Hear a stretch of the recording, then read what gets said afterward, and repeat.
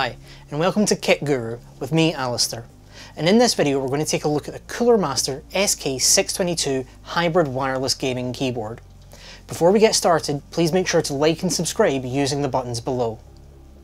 Coming in at roughly £99, this is a 60% layout wireless mechanical keyboard with a lot of functionality. Inside the box, we've got some instructions for connecting wirelessly, which we'll cover a little bit later. We also have a quick start guide the keyboard itself, which comes in a nice little bag, and a braided USB-C to USB-A cable. I actually really like this cable, it's got a good braid and a decent length coming in at about 1.8 meters. Finally, we also get a keycap puller for anyone wanting to customise their keyboard or replace keycaps. The model I have here is space grey, but there is also a white variant available. My first impressions of the keyboard were that it's very well weighted and very sturdily built. The keyboard's built from a plastic base with an aluminium plate on top, which gives it quite a lot of rigidity. You won't be seeing any flex from this keyboard unless you happen to type with a hammer. The aluminium plate adds enough weight to avoid the keyboard feeling cheap without it becoming too heavy to take on the move, with the total weight minus any cables coming in at 446 grams or 0.983 pounds. The keycaps are low profile double shot PBT MX style keycaps, which are slightly taller than the previous generation's SK621 keycaps. This low profile design has meant that additional shortcuts accessed through the use of the function button are listed on top of the keycap. With this keyboard supporting a lot of function accessible controls, the caps themselves might feel a little bit cluttered. The SK622 does feature single height feet to angle the keyboard, which also have rubber pads on the bottom and rubber pads at the front of the keyboard, which stops you having to chase your keyboard across the desk while you type. Now, it wouldn't be a gaming keyboard without a healthy dose of RGB, and the SK622 provides on this front with per key backlighting and a light bar around the aluminium plate to add some nice ambient light spill onto your desk. The RGB modes can be changed both through the function buttons and through the Master Plus software, although Cooler Master do boast about the on-the-fly approach with this keyboard, and for good reason. Thanks to all of the additional functions that come mapped to each key as default, you don't actually need the Master Plus software at all, as you can adjust the colour, the brightness, lighting modes, and even record macros all directly from the keyboard itself. Luckily, they do include a quick start guide, which does break down all these functions, so you aren't left guessing. After running this keyboard for a few days, I was really pleased with there being no rattle or wobble on any of the larger keys, with keys like the spacebar being a regular concern when trying out a new keyboard. If anything, the spacebar was actually quite stiff to begin with, but after a few hours it had loosened up and felt just like any of the other keys. It's also nice to point out that the keyboard does support multiple operating systems, with shortcuts for both Windows and macOS displayed on the relative keycaps. The inclusion of the arrow keys was also great as it's not something that's common on a 60% layout keyboard. The inclusion of the arrow keys however did cause me a little frustration as it means the right shift key and the delete key are quite small and it's very easy to press either of them when you're trying to use the arrow keys if you're not careful. So when I was typing emails, I was actually hitting the up arrow instead of shift, jumping back to the beginning of my sentence, and then typing from there. So it's just something to be a little bit aware of. Also, you can use the function button and the right shift button to lock the keyboard, which if you're using the arrow keys a lot, is very easy to do if you're not paying attention. I do really like a lot of the default key mapping for the function keys, but one that stood out as a little odd to me was the use of the JKL keys. Now, I do a lot of video editing, and traditionally the JKL keys are used for play backwards, pause, and play forwards, with J being play backwards, K pausing, and L playing forward. This is common across pretty much every video editing application, and it even works in some players like YouTube's own player. It feels like Cooler Master came so close to doing this right, but for some reason they've swapped the J and the K key round, so now J is stop and play and K is play backwards. Now you can change the mapping in the Master Plus software, but you can't change the, the way that the shortcuts are printed on the key themselves, so it's a little bit of a nuisance. Something for them to take on board for the next model. The switches on the SK622 are TTC low profile mechanical switches and the keyboard is available with either red, blue or brown switches. The model I have uses the red switches, which are linear with no tactile bump and quite a low sound profile. With these being low profile switches, the travel distance is quite short, although the actuation point is quite high. If you happen to rest your fingertips on the keys quite heavily like I do in between typing, you might find yourself accidentally pressing keys without meaning to.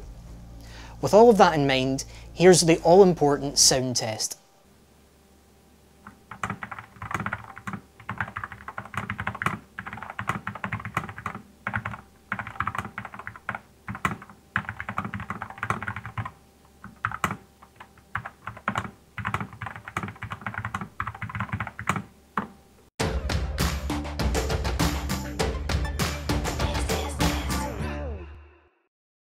On the side, we have a switch that swaps the keyboard between its wired and wireless modes.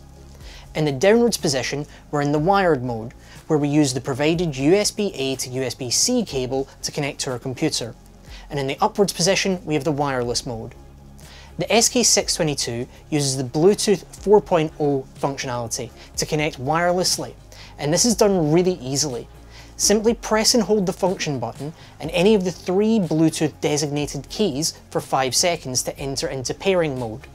Once in pairing mode, you can enter the pin code displayed on your computer to pair with the keyboard.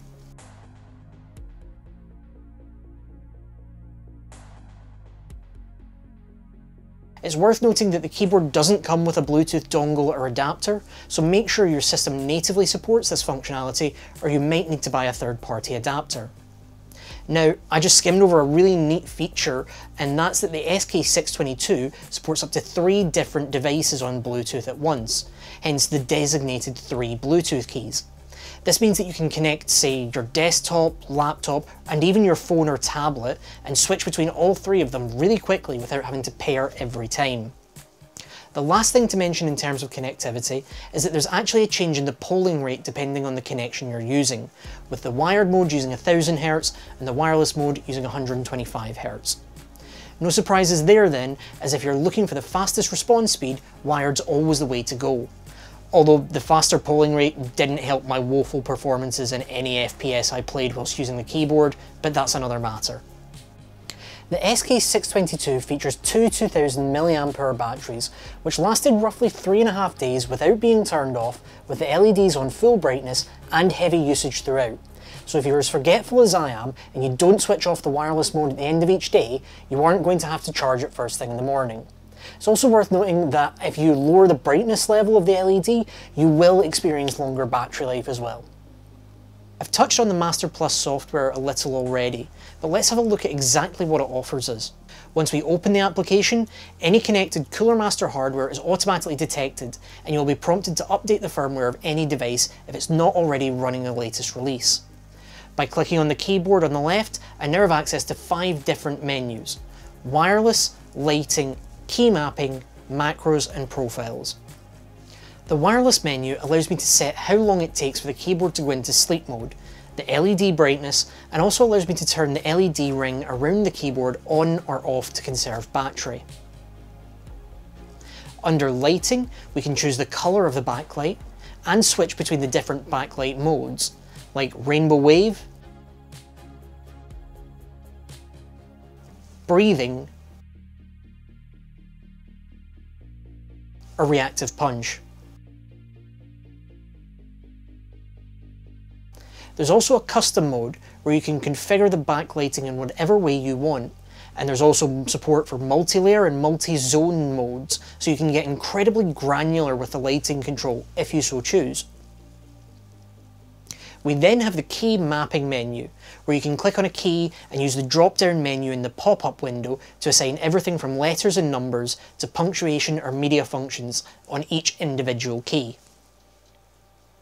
The macros menu allows you to configure and store multiple macros. First, give your macro a name and then use the record button to record the key presses that you want. When you're happy with your recording, you can stop it and then assign that macro to a specific key. Finally, the Profiles menu allows you to have multiple profiles, each with their own specific configuration that you can switch between. I really like this application as it's a single app for all Cooler Master hardware and it makes managing the keyboard really simple and quick.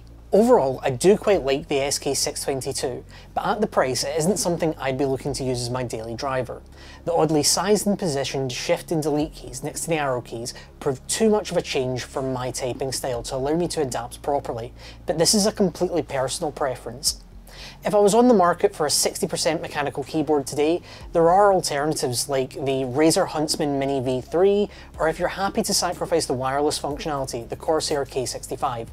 Both of these keyboards do lack any arrow keys, but they do have that larger right shift key that I've missed on the 622. However, if you are looking for a small, portable keyboard with an absolute boatload of functionality packed into it, then this is definitely one to consider. That brings us to the end of our look at the SK622. What do you think? Is it going to be your next daily driver? Let us know in the comments below. Also, don't forget to like and subscribe, it really helps the Kit Guru channel out, and hit the bell icon if you want to be notified when we upload. You can follow us on all social media platforms for the latest updates and donate on Patreon if you're feeling generous. Finally, if you want some sweet Kit Guru merch like this stylish shirt that I'm wearing, you can grab yours from the link below. Thanks for watching.